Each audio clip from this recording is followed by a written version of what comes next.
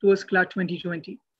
Today in one such session with us, we have Ms. Dhwani Gupta, who is an English grammar specialist. And the today's and today's session is on topic of reading comprehension and tenses. Over to you, Dhwani. Thank you, Harsh. Hello, everybody. My name is Dhwani Gupta. In today's session, we are going to discuss uh, reading comprehension and tenses. So, like every session, let's start with the reading comprehension passage. So, first, I'm going to read out the passage, explain it to you, and then together we can solve the questions. So, let's get started. It is an old saying that knowledge is power. Education is an instrument which imparted knowledge and therefore indirectly controls power. Therefore, ever since the dawn of civilization, persons in power have always tried to supervise or control education. It has been the handmaid of the ruling class. During the Christian era, the ecclesiastics controlled the institution of education and diffused among the people the gospel of the Bible and religious teachings. So the writer is saying in the passage that uh, education is the only instrument which gives us knowledge and therefore it controls power. So uh, ever since when the civilization started, so people who were powerful always used to control education. So it has all education has always been in the hands of the rich in the ruling class. So during the Christian era, people uh, which are associated to the church or clergymen, they used to control uh, education and uh, they used to spread the teachings of Bible uh, among the people Okay. These gospels and teachings were no other than a philosophy for the maintenance of the existing society. It taught the poor man to be meek and to earn his bread with the, with the sweat of his brow, while the priest and the landlords lived in luxury and fought duels for the slightest offense. During the Renaissance, Education passed more from the clutches of the priest into the hand of the prince. In other words, it became more secular. It was also due to the growth of the nation state and powerful monarchs who united the country under their rule. Thus, under the control of the monarch, education began to devise and preach the infallibility of its masters, the monarch or king. So the writer is saying that uh, the teachings and uh, the, the gospels which was spread by the Christian people were basically a philosophy for the maintenance of the society. It basically uh, taught people that the poor man should work very hard to earn his livelihood, while the priest and the landlords always used to have a very luxurious life and even they fought for slight crimes also so during the Renaissance, there was a complete change. There was a lot of change. The education passed from the priest to the kings. So it was basically, uh, there was a reason behind this because the powerful monarchs united their country under the rule. So uh, at that time, at that era, when the education was uh, shifted to the kings, the theory which was spread, which was very uh, which was which spread there then was that the kings can never go wrong.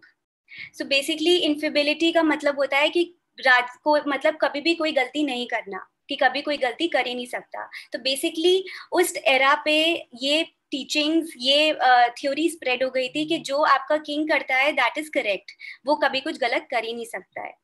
It also invented and supported fantastic theories like the divine right theory and the king can do no wrong, etc. With the advent of the Industrial Revolution, education took a different turn and had to please the new masters. It now no longer remained the privilege of the baron class, but was thrown open to the new merchant class of society. Yet education was still confined to the few elite. The philosophy which was in vogue during this period was that of laissez faire, restricting the function of the state to a mere keeping of law and order, while, on the other hand, in practice, the law of the jungle prevailed in the form of free competition and the survival of the fittest. So basically, uh, the writer is saying that uh, during that era, there was a theory which was named divine right theory, which meant that ki raja kabhi galat hui nahi sakte. It is because it is God themselves who had bestowed uh, them with this duty of uh, ruling the country. So wo log kabhi galat hui nahi sakte. But as industrial revolution took place, there was a drastic change. Now the education shifted from the hands of the kings to the uh, basically the to the people who controlled industries. But at that time also education was confined to the rich people to uh, to elite people. So the the philosophy which was which spread during that period was that the state had to follow a policy of uh, uh, of minimum interference which means that their only function is to maintain law and order. But in reality this is all baseless. In reality there is jungle law prevailed everywhere which means that uh, the person who is strong who is powerful can survive. Otherwise the weak jo log weak hain ya jo log uh, powerful they they have they, it is very difficult for them to survive in such a society.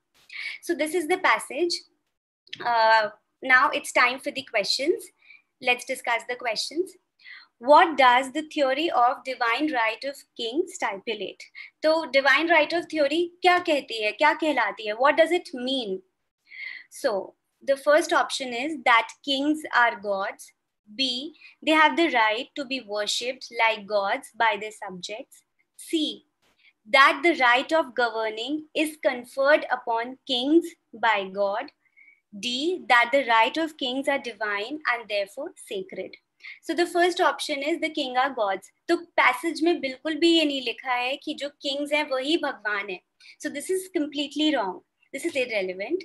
Now let's move to the next option, which is they have the right to be worshipped like gods by their subjects. No, it is. This is also not written in the passage कि वो लोग uh, कि they they should be regarded gods and they should be worshipped by their subjects. No, it is not written there In the passage. So even B is also wrong. C, that the right of governing is conferred upon kings by God. Yes, divine right theory का मतलब यही होता है कि जो वो लोग govern करते हैं जो वो रूल करते हैं पूरी कंट्री को ये ड्यूटी भगवान ने खुद उनको दी है तो this is basically the divine right of king D that so option C is the correct answer D, that the right of kings are divine and therefore sacred. No, this is also wrong. So option C is the correct answer. हमें word से ही पता चल रहा है divine right of king. Divine right means a right which is given by God, which is bestowed by God. So that is uh, option C is the correct answer. Now the next question is, what does the expression handmaid of the ruling class mean? क्या मतलब होता है handmaid of the ruling class there was written there was written in the passage education was the handmaid of the ruling class why what does it mean private mistress of the prince no B something fully under the control of the ruling class yes this is correct handmaid of the ruling class मतलब कोई चीज़ जो कि ruling class के पास ही है, उन्हीं के control में है। So that is called handmaid of the ruling class option B is the correct answer C. Private maid servants of the prince. No, this is wrong. Nothing as such is mentioned in the passage. It is irrelevant. The symbol of authority of the prince. No. Option B is the correct answer. Handmaid of the ruling class कि कोई उनके पूरे उनके control में थी पूरी education system at that time. All right. The question question number three is what does the word infallibility mean? So uh, when I when I was reading the passage, I told its meaning. So let's see uh, what are the options. First, that every man is open to error. B, that some divine power is responsible for determining the fate of men. C, the virtue of not making any mistake. D, sensitivity. So the first option is that every man is open to error हर इंसान गलती कर सकता है बिल्कुल कर सकता है but this is not the meaning of infallibility next option is that some divine power is responsible for determining the fate of men uh, this also doesn't mean infallibility the virtue of not making any mistake yes this is the correct answer because as when i was explaining the passage i told that कि infallibility का मतलब होता है जब कोई इंसान गलती कर ही नहीं सकता है infallibility word is being used for the kings क्योंकि उस टाइम पे जो थ्योरी स्प्रेड हुई थी कि किंग्स कभी गलती कर ही नहीं सकते हैं so the virtue of not making any mistake option C is the correct answer D sensitivity D is also wrong it is irrelevant so option c is the correct answer now the next question is what did the ruling class in the christian era think of the poor man so what is being said for the poor man in the passage uh, in the second uh, slide we can we have seen ki poor man ke bare mein kuch likha tha. So let's see what it is written. What does Christian people uh, ruling class in the Christian era think of, of poor man?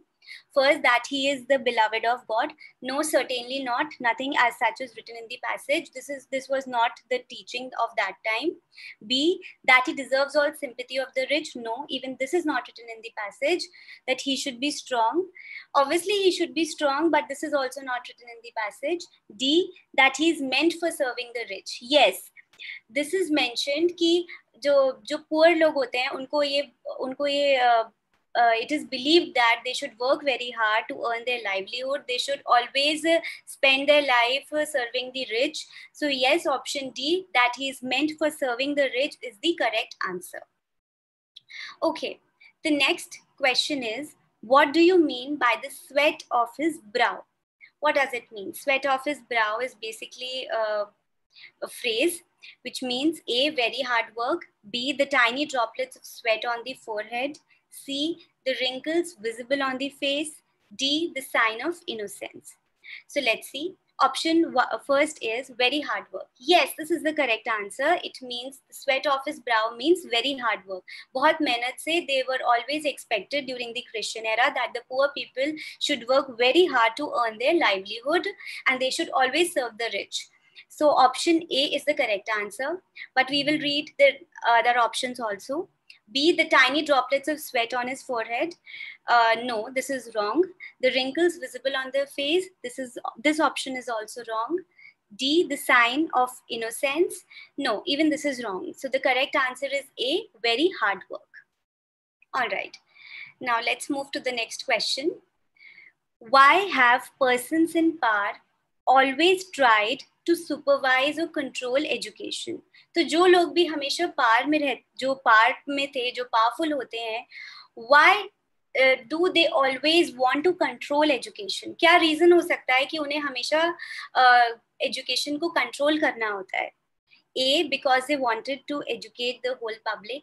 B, because they wanted to deprive the common man of the benefits of education. C, because it is an instrument of knowledge and therefore power. D, none of these. So let's see what is the first option. Because they wanted to educate the whole public. Uh, nothing as such is written in the passage कि इस this is the reason क्योंकि उन्हें सब, पूरी public को educate करना है, सबको पढ़ाना है, सबको एजुकेशन देनी है that is why they want to have control no this is wrong this is not written in the passage उनका सर्टेनली ये मोटो तो नहीं था। B, because they wanted to deprive the common man of the benefits of education.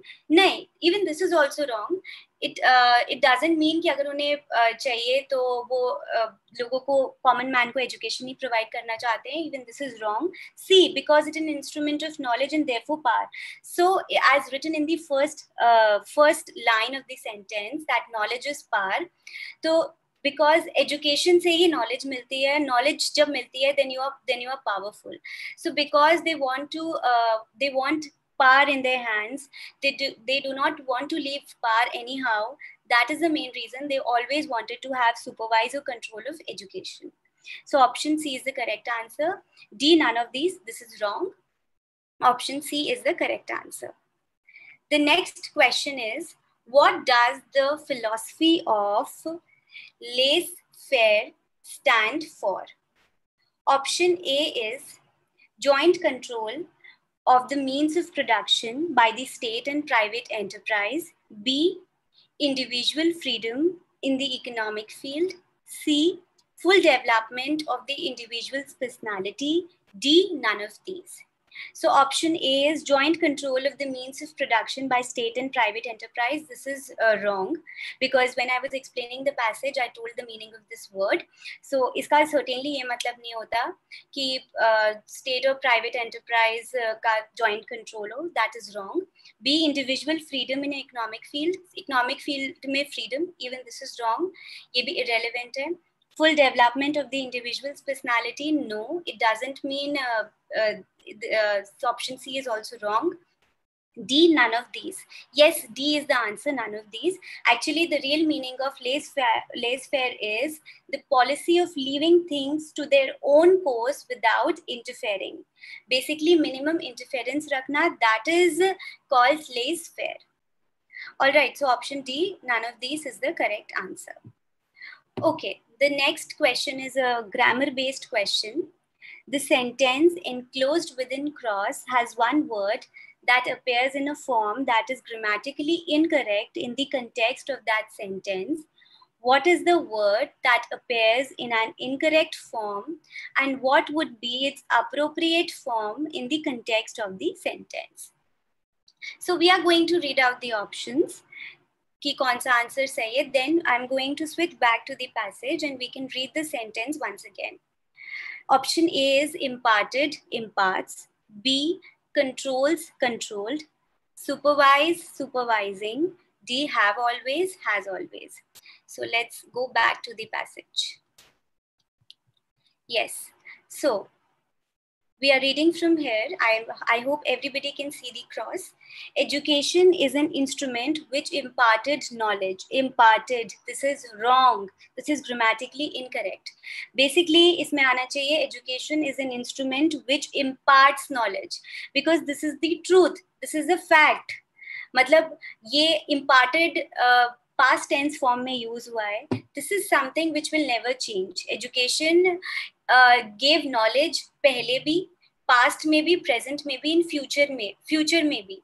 तो गलत है imparted नहीं impart आएगा। This is because this is something which is true it is based on facts कि ये हमेशा ही ऐसे रहेगा। जैसे कुछ यूनिवर्सल ट्रुथ होते हैं तो ये भी यूनिवर्सल ट्रुथ है कि जो एजुकेशन है, वो इंस्ट्रूमेंट है जो कि हमेशा नॉलेज देगा। तो which imparts imparts is the correct answer which impart knowledge and therefore indirectly controls power even this is correct there are no changes here therefore ever since the dawn of civilization person in power have always try to supervise और control education so rest everything is correct only this imparted is wrong it should be imparts. It should be simple tense, simple present tense. Okay, so now let's move to simple tenses. Tenses बहुत ही important topic here, and uh, this is one such topic which we are doing since our childhood days. Fifth six seven से हम लोग tenses but this is one topic which uh, at times become very confusing also. So so basically हमारा जो CLAT का 2020 pattern है उस हिसाब से यू कैन uh, जैसे you we just solve one question they can pick one line and they can say this is grammatically incorrect and it could be incorrect in any ways may be the tense is wrong so in the last sentence the last question which which we did अभी तो उसमें क्या था? उसमें tense गलत था. So for that we should have a very proper knowledge of tenses, कि कौन सा टेंस कब आता है. So in this slide we are not going to to discuss about all the tenses, but in particular, in this session, I'm going to discuss about simple tenses, just simple tenses. And in the upcoming sessions, we'll discuss more about tenses. So in this particular session, I'm going to tell you uh, what are the various uses, कौन सा tense कब कि ऐसे क्यों आना चाहिए so basically we are going to do that so let's proceed simple tenses simple verb tenses the simple tense in english is the most basic way to express at what time an action is taking place the three types of tenses are present tense past tense future tense simple tense सबसे basic तरीका होता है किसी action को express करने का कि when an action is going on when an action is taking place तो three types of tenses होते हैं this is very easy present tense past tense future tense okay जैसे कि एक एग्ज़ाम्पल है the simple tense is outlined in an example using a regular verb so we are just using a regular verb jump तो हर tense में कौन सा form of verb आएगा? We'll do that simple present I jump मतलब मैं अभी jump कर रही हूँ. सिंपल पास्ट आई जम्प्ड कि आई हैव ऑलरेडी जम्प्ड मैं जम्प कर चुकी हूँ. Simple future I will jump means मैं अभी जम्प करने वाली हूँ. So this is the difference between the three of them. All right. Now there are some examples of simple present tense. Some examples of actions that present tense expresses are habits. तो सबसे पहले example he drinks tea every morning he get up every day at five o'clock तो basically when we are talking about a habit जो हमारी habit है which we do daily and वो कभी change नहीं होती तो उसके लिए हम कभी भी पास्ट टेंस या फ्यूचर टेंस नहीं यूज़ करते. So for habits we always use we always use present tense. He drinks tea every morning because uh, ye drank nahi hoga he will drink nahi hoga because this is something he's doing daily this is something which is part of his routine so he drinks tea every morning I get up every day at five o'clock. So waking up at five o'clock is in my everyday routine. This is something which I'm doing daily. So uh, in these types of sentences, in all those sentences which is, uh, in which the thing is uh, done out of habit and which is a part of routine. So in all that sentences, we never use past tense or future tense. We always use present tense. Next is the next is to express journal truths. तो जब हम किसी एक truth के बारे में बात कर रहे हैं जो which is a reality which can not be changed we always use present tense honey is sweet So honey will always be sweet. Kabi honey was sweet, honey will be sweet. All this is wrong because this is a fact. Honey is something which has to be sweet. So uh, fortune favors the brave. So uh, in such sentences, the sun rises in the east. So in such uh, in all these sentences, we are talking about truth. Knowledge uh, knowledge imparts uh, education imparts knowledge in the last passage the passage which we done uh, which we have done now उसमें भी ये एक चीज़ ये है जो कि fact है जो कि चेंज नहीं होती वो एक जनरल ट्रुथ के बारे में बात कर रहे हैं तो in these type of sentences we will never use past tense और future tense we always use present tense Next is in exclamatory sentences starting with here and there to express what is going to take place in present. Basically, जब कोई exclamatory sentence होता है और and when it is starting with here and there uh, कि अभी कुछ होने वाला है तो in that type of sentences also we always use simple present tense. Here comes the bus. अभी बस आने वाली है there she goes. So in these type of sentences also we always use simple present tense. Next is in vivid narrative. So basically when somebody is narrating a story, is, is narrating something, जब कोई आप narration का part होता है आपके किसी story का part होता है तो we always use present tense. Immediately the son hurries to the sultan hurries to the capital. Shoran now rushes forward and deals a heavy blow to Rosa. So in all these sentences, we have used simple present tense because they, these are all part of the narration, part of storytelling. Okay, the next use is to express a future event that is a part of a fix program तो जब हम किसी future event के बारे में बात कर रहे हैं बट वो future event is a part of a fixed program जो कि फिक्स्ड रहता है ठीक है? वो ऐसा नहीं है कि वो एक ही बार हो रहा है but that is in routine that it goes on in routine it is a fixed program So in that cases also we always use simple present tense. Example, the match the match starts at nine o'clock in the morning. तो match हर रोज ही nine o'clock सुबह शुरू होता है तो this is something which is a part of a fixed program and uh, it could be a future event it is a future event but it is a part of a fixed program second is the train leaves at 5:35 pm so the train will always leave every day leave at the at the same time सो ऐसे future events में जो कि एक part है fix program के we always use simple present tense okay next is to introduce quotation so some in quotation also we always use present tense. kabhi bhi wo change nahi hum unme kar sakte tagore says beauty is the ultimate reality. Osho says self knowledge is ultimate knowledge. so whenever we are uh, doing a sentence the beauty was the ultimate reality or beauty will be uh, the ultimate reality all this is wrong. This is completely wrong.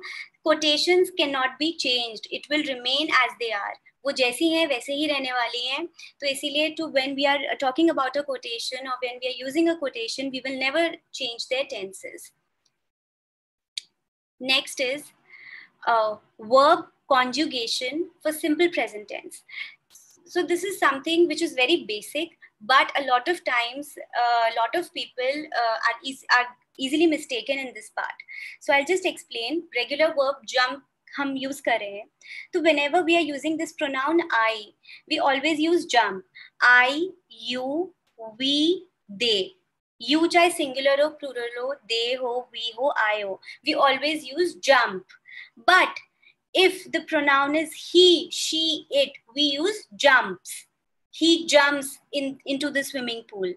ठीक है?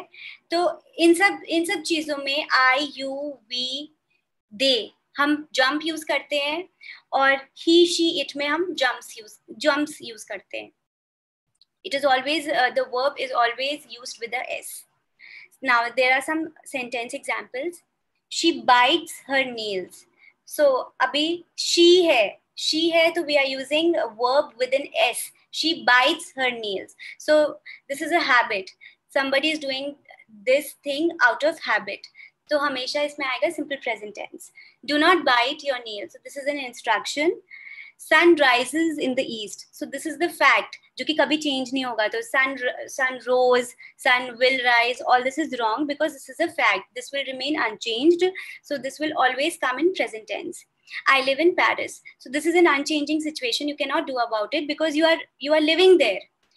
We love Belgium chocolate ice cream. So even this is also an unchanging situation. If you love Belgium chocolate ice cream, this is a fact. So ये भी change नहीं होगा. So we will always use uh, simple present tense. Now, the next part is simple past tense. Now let's see what are the uses of simple past tense. The simple past tense, also called past tense, is used to express actions that are completed at any time in recent or distant past और for any duration of time तो simple past tense वो actions को express करने के लिए use किया जाता है जो कि अभी पास्ट में बीच में कितने भी टाइम के लिए खत्म हो चुके हों past is something which have already been done जो कि हो चुकी है we add ed to the end of the regular verb to create simple past tense so basically past tense create karne ke liye we add ed to the regular verb and let's see the verb conjugation for simple past tense, verb forms for simple past tense. Now we are using the same regular verb jump. So it is very simple. As said earlier also, we just add ed to the verb. I jumped, you jumped, he, she, it jumped, we jumped, you plural jumped, they jumped. Now let's see the sentences. The streamer sailed yesterday. Kal steamer sail hua tha so this is uh, we are talking about an action which had already happened in the past so we are using ed i received his letter a week ago एक हफ़्ते पहले ही मुझे उसका letter मिला था तो this is something which has been done with the action हो चुका है she left school last year last year ही उसने स्कूल छोड़ दिया था तो this is something which had already been done he studied many hours every day I learned Hindi in Nagpur. So in all these sentences, we are talking about an action which had already been done in the past, which had been all, which already had been completed. So that was simple past tense. Now uh, we are going to discuss our last topic, which is simple future tense. The simple future tense, also called future tense, is used to express actions that will certainly occur at any time later than now. Basically future से ही हमें समझ में आता है कि कोई action जो कि होने वाला है फ्यूचर में आगे हो सकता है। एड विल और shall before the verb to create the simple future tense so basically simple future tense को क्रिएट करने के लिए वी सिंपली एड विल और shall will jump will go will cook will dance shall shall write all these types of sentences Now, verb conjugation for simple future tense. We just add will or shall. एक आई जो होता है उसमें हम शैल भी use कर सकते हैं विल भी यूज़ कर सकते हैं. It's very versatile you can use anything you want but with other pronouns like you he she it we you they we always use will.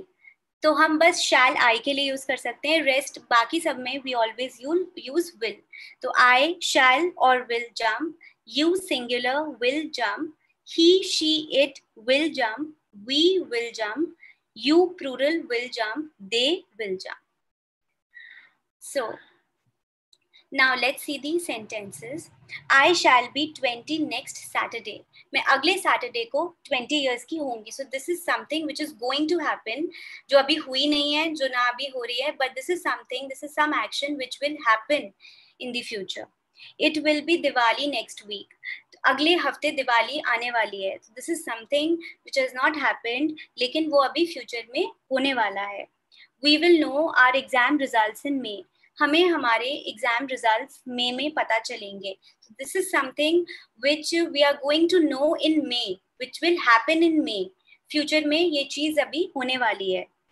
I think India will win the match मुझे ऐसा लगता है कि India match जीत जाएगी। तो this is something कि ये वो सेंटेंस नहीं है जिसमें कि अभी इंडिया जीत चुकी है या अभी जीत रही है बट दिस इज़ समथिंग कि वो जीत सकती है। दिस इज़ माई ओपिनियन कि I think India will win the match हो सकता है कि इंडिया जीत जाए। I am sure Helen will get a first class मैं श्योर हूँ कि हेलन को फर्स्ट क्लास मिलेगी तो दिस इज नॉट समथिंग कि उसे ये चीज मिल चुकी है but I think I hope I wish कि ऐसा हो सकता है फ्यूचर में that she will get a first class So that's all for today. In the next class, we are going to discuss about uh, reading comprehension and uh, continuous tenses. So thank you very much. Thank you so much, ma'am, for taking out time and joining us. Kids, uh, let's meet tomorrow again for a session on current affairs and we will be discussing migrant crisis. Thank you. Thank you.